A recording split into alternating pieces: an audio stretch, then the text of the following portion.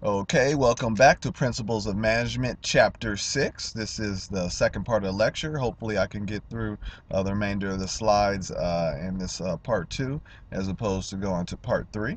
So, performance evaluations and objective objectives, uh, negative consequences of avoiding uh, performance review. So, it decreases credibility of management, right? Do you have something to hide? Uh, reduces the organization's overall effectiveness. You need to tell people what they need to improve upon and also tell them what they're doing well. Uh, it wastes management's time and it decreases morale. And I've actually seen individuals do that before and not provide uh, performance evaluations. Was not a good thing, uh, but but it definitely occurs. so here's a sample employee evaluation form. I'll just increase that so you can kind of see it. Uh, you see as employee information, their uh, employee ID, their job knowledge is it uh, poor, fair, satisfactory, good, excellent. Uh, you can also look at this as a scale of, uh, five, right? So it could be like one, two, three, four, five, and you just make your selections. Uh, now, what you should know when you do performance evaluations that uh, nothing should be a surprise. You should be communicating with your associates or your employees uh, early and often in regards to the things that they they don't do well, so that they can be corrected. At least give them a chance. Uh, individual performance review, you have preparation, document achievements, uh, organize as evidence of results gained, right? So you want to write down what people do uh, well. Don't just be the person that only writes down what they don't do well. Uh, what if the result is unfavorable? Was it truly unjustified? Are you just sensitive to criticism? Uh, justified, schedule a follow up appointment uh, right? And and when we do evaluations and we receive them on the other end, so I give evaluations, but I also receive them from my from my manager. Uh, sometimes we can be you know fairly sensitive because they're talking about us, and we feel like we all go 100%, 100% of the time, which we definitely do not do. Uh, justify schedule follow-up appointment. Uh, you want to talk about what you've learned. Uh, did you have clear goals and objectives such uh, that your performance was easy to document? So if you had clear, uh, you know, goals and objectives, then it's easy to document it. And can you take away valuable information? You can always take away uh, valuable information. I've probably messed up you know uh, some performance evaluations here here and there uh, from from both sides in my you know in my early years uh, but you want to take something away from it and, and look to improve.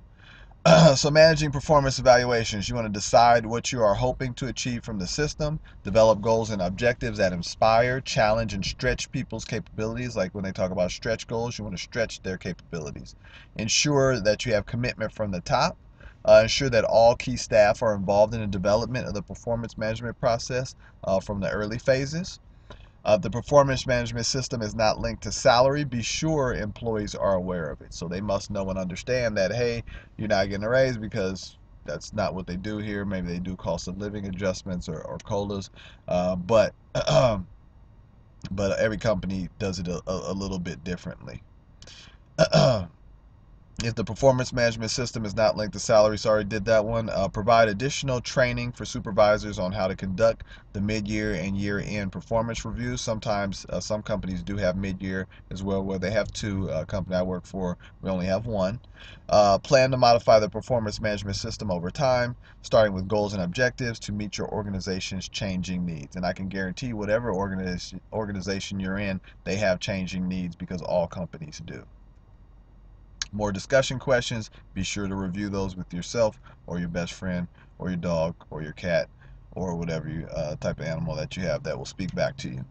Uh, the ultimate purpose. So goals and objectives should reinforce the organization's strategy with which ultimately achieves the vision and mission of the organization, right? And that's what we ultimately want to do. We want to ultimately support the vision and the mission of the organization.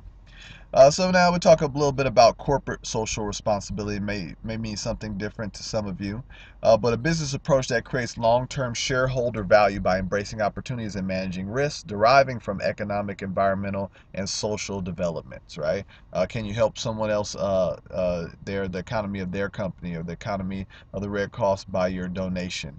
And environmental. Uh, do you support things that are environmental? A company I used to work for, if I go down the 55 freeway, I look to the left and I see them and they have all solar panels on the top of their uh, on the top of their company. So someone really committed to corporate social responsibility.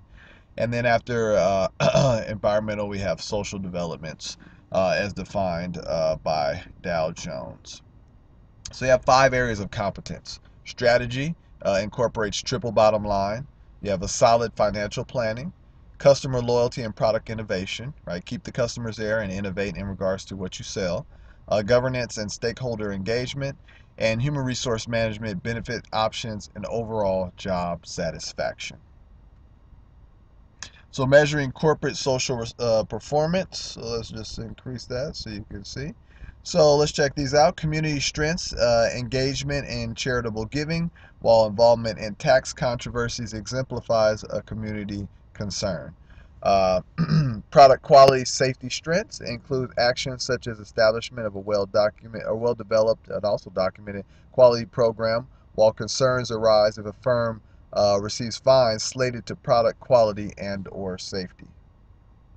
Diversity uh, strengths include progressive uh, programs uh, for the employment of the disabled, whereas uh, fines or civil penalties that uh, result from an affirmative action uh, constitute a concern. Right, so we're looking at the good and the bad. Strike, a no layoff policy, is a strength in regard to employee relations, while poor union relations are a concern. Right, so if I have a no layoff policy, that's I'd probably feel pretty secure about being at that company. Environmental strengths include engaging in recycling, uh, while concerns arise when penalties uh, for air or water violations are uh, documented. And corporate governance strengths include equitable levels of compensation for top management and board members, while concerns are raised if controversies uh, related to accounting, transparency, and uh, political accountability are discovered. And they, they, you know, they are frequently in these days. Uh, you know, see so many things with with Enron, Tyco, Adelphia, things of that nature. Uh, so they they all come out. Uh, back in the day, a lot of people didn't know that there was anything such as white collar crime. Uh, some more discussion questions. Uh, what does corporate social responsibility mean? You should be able to answer all of these. Go through them. They may just help you on your quiz. Organizational and personal scorecards. As with an organization's mission and vision, uh, your personal mission and vision reflect who you are and where you want to go. Which values and principles guide your way? Like what? What's the guiding factor? Is it money? Is it comfortability? Things of that nature. Uh, what are your most deeply cherished aspirations, right? Maybe you don't tell everybody those things. And how do you distinguish yourself in society and among your peers and family, right? So ask yourself those questions. And we have organizational and personal scorecards continued. Goals and roles are set out with respect to the areas of financial, uh, others, uh, individual strengths, and learning and growth. Uh, financial captures your needs and aspirations about money, as well as financial obligations. Others reflect goals uh, that you have uh, that you have in relation to other individuals uh, or society at large. How do you want to be seen? Right? Do you want to be seen as the bad guy, or do you want to be seen as you know somebody that's well liked and well loved? Individual strengths represent the internal perspective, reflecting goals related to your health and well being.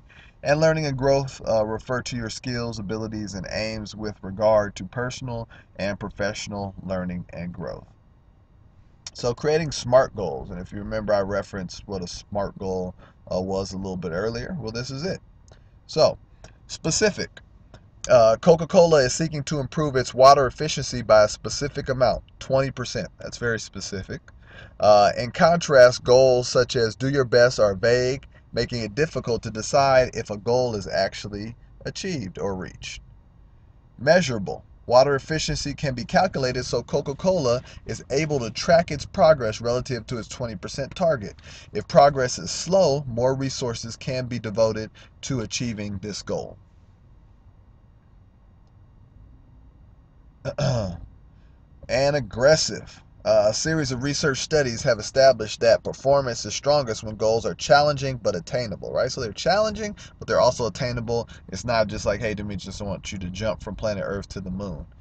Uh, work by Coca Cola, but the goal can actually be reached. And they also have to be, uh oh, went too far. They also have to be realistic. And that, that just makes sense, right? Don't give me a crazy goal like, I want you to sell 100 cars in one day. Uh, if Coca-Cola water efficiency goals are 95% improvement, Coca-Cola's employees would probably react with some surprise. Uh, reaching a goal must be feasible in order for employees to embrace it. Unrealistic goals make most people give up, and basing goals on impossible cliches such as give 110% creates confusion, and I can understand why and they also need to be time bound. Uh, Coca-Cola is seeking to art, uh, to achieve its 20% improvement by 2012. Some universities, such as Texas Tech University, uh, provide incentives, including preferred scheduling for students who sign contracts agreeing to graduate on a four-year schedule. Right, so you just signed a contract to agree to sign to, to graduate in in four years. Uh, deadlines such as these are motivating and they uh, create accountability, right? Which makes a lot of sense. All right, and here we go. So let's let's check out our guy right here. Specific. Do you create explicit rather than vague goals for yourself? Can you help you? To, this can help you to target your energy towards what is an important what is important, right? So you want to focus. You want to um, be specific in regards to your goals. Measurable.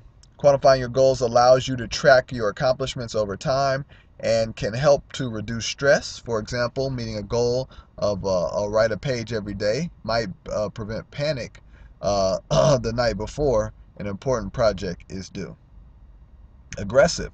Creating aggressive educational goals, maintain a 3.5 GPA is likely to lead to a higher performance than minimal goals, right? I just want to pass all my classes, and I know that's definitely not any of you.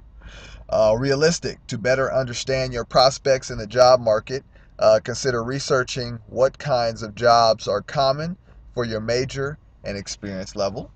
And then they also have to be time bound. Uh, time management is a challenge in today's world. If you tend to procrastinate, uh, setting interim deadlines for yourself might help you uh, to stay on schedule. All right, let's shrink it back down. Honey, I shrunk the kids. And last but not least is your slide on discussion questions. Remember to go over these. They are very beneficial. We'll probably help you on your quiz. We'll probably help you uh, on your assignments. Uh, what can you achieve by applying the concept of a balanced scorecard uh, to your personal situation? Right. Remember the keyword is a balanced uh, scorecard. Uh, how similar or different does the scorecard seem uh, to function at an individual level as opposed to an organizational level. So remember to go through those questions. Uh, you know, feel free to, to refer back to the book. Uh, you will definitely find the answer and then it will be ingrained and processed and stay in your brain forever. So as always, uh, this is Demetrius Wilson for Principles of Management, Chapter 6. This is uh, lecture part 2. Lecture part 1 was posted before this. Uh, hopefully it didn't put you too far to sleep uh, and I will speak with you uh, when we get to chapter 7.